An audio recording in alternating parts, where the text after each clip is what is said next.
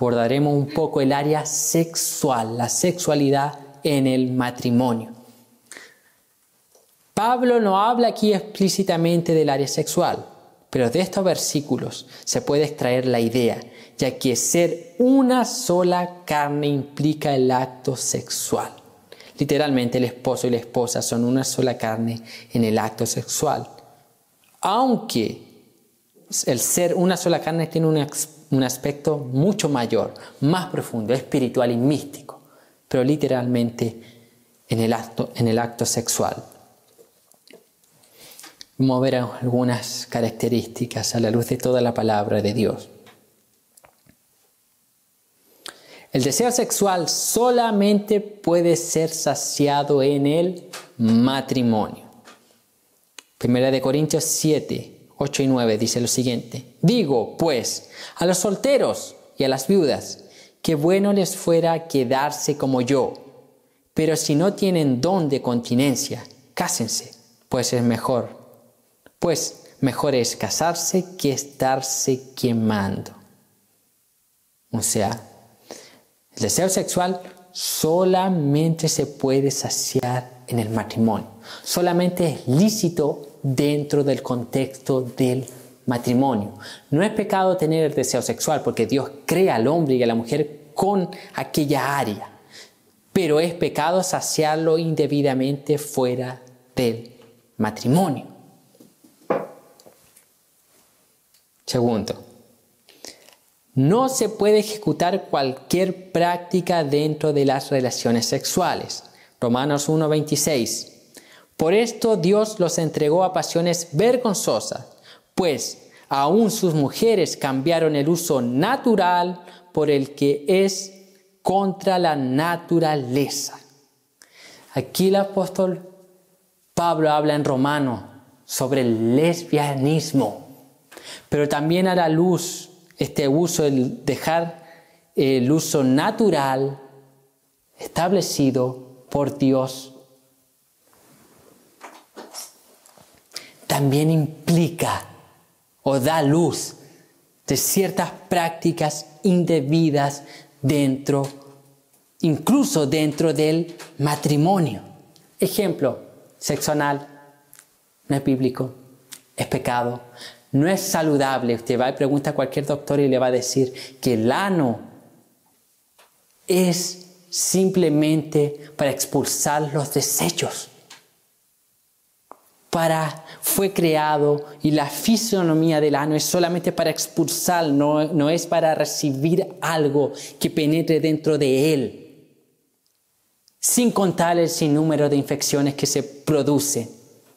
Sin contar que las personas, las mujeres que practican regularmente la penetración anal, eso conlleva después con el transcurso del tiempo a no tener retención.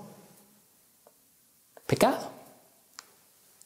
A pesar de que Dios permite el sexo, las, relaciones sexuales en el matrimonio, Él no avala todas, todas. Penetración anal, pecado. ¿Qué más? Pornografía también. Cuando yo estudiaba, yo escuché en ramos de ética, yo escuché un sinnúmero de testimonios de pastores que no conseguían tener alivio sexual, no conseguían llegar al clímax o tener intimidad con su esposa sin antes ver pornografía. Pecado, pecado.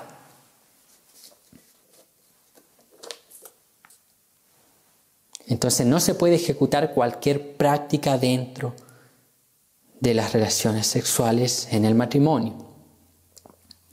Tercero, las relaciones sexuales, específico, el coito o natural o lo que Dios permite, en el matrimonio no es pecado. Génesis 2.24, citamos nuevamente, por tanto, dejará el hombre a su padre y a su madre y se unirá a su mujer y serán una sola carne. No es pecado. ¿Por qué digo que no es pecado? Porque en muchos círculos evangélicos se ve el sexo como pecado, se ve las relaciones sexuales como pecado. ¿Cuántas personas que tienen que predicar el día domingo, el día sábado, durante la noche no tienen intimidad por su esposa, con sus esposas, porque piensan que es pecado. Mentira. Eso no es pecado. Si quieren abstenerse, pueden, pero basado en Primera de Corintios es por, por tres causas. Tiene que haber tres, cumplir tres requisitos para la abstinencia. ¿Cuáles son? Debe ser por consentimiento mutuo. Ambos deben estar de acuerdo. Debe ser para dedicarse a la oración y por un tiempo determinado, no por mucho tiempo. Entonces, y ambos, y todo es por consenso mutuo. Si la mujer dice no, el hombre no puede. Pero no es pecado. No es pecado. ¿Cuánta gente que ve de esta forma? ¿Cuánta gente cristiana? Círculos evangélicos que ven el sexo, la sexualidad o las relaciones sexuales como pecado. No, no es pecado. Cuando Dios crea en Génesis, capítulo 2, versículo 24, el matrimonio juntamente con Él crea las relaciones sexuales, los manda procrear. Cuarto, o letra B, el placer sexual en el matrimonio. Vamos a hablar aquí. Proverbios 5, 18 y 19 dice lo siguiente. Sea bendito tu manantial y alégrate con la mujer de tu juventud, como sierva amada y graciosa gacela. Sus caricias te satisfagan en todo tiempo y en su amor recréate siempre. Las relaciones sexuales no fueron creadas solamente para procrear. No, porque algunos piensan que el sexo es solamente para procrear. No, no fue solamente para aquello. Tenemos un libro entero que habla solamente de la sexualidad, eh, no en el sentido para procrear, sino para disfrutarla, para sentir placer, cantar de los cantares. Entonces las relaciones sexuales no fueron creadas solamente para procrear, sino para que el hombre y la mujer puedan satisfacer sus deseos sexuales en el matrimonio. En el matrimonio.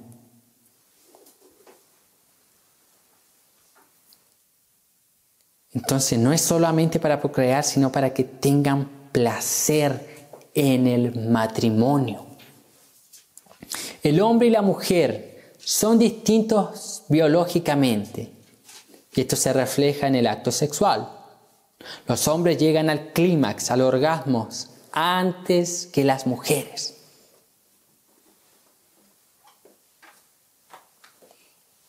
Antes.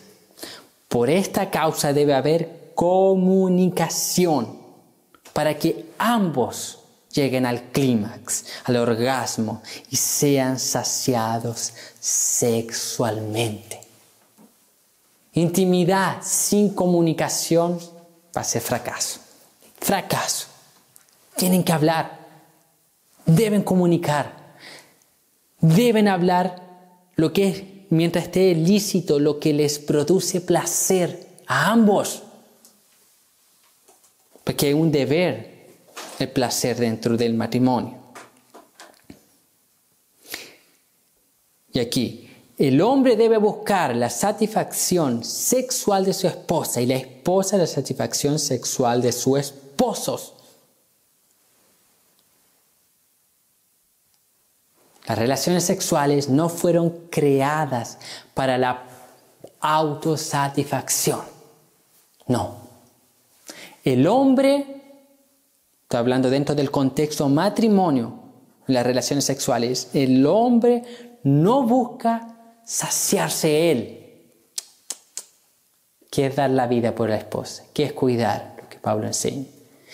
El deber del hombre en el acto sexual es que su esposa sea saciada, que su esposa termine satisfecha después del acto sexual. Y la mujer tampoco busca su propio placer, sino busca que su esposo sienta placer, que él sea saciado. Eso debe ocurrir, las relaciones sexuales dentro del matrimonio, una satisfacción mutua. Procurar que el otro sea saciado y no ser egoístas, egocéntricos.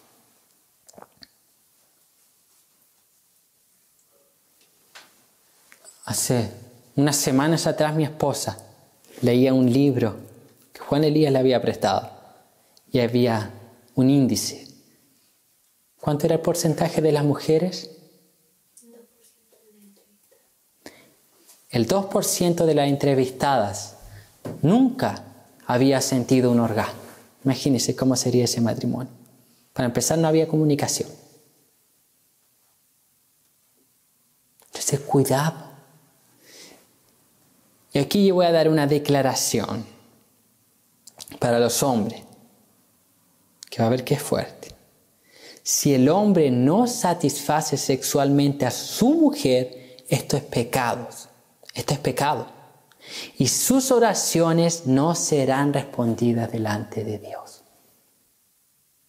El acto sexual, muchos piensan no.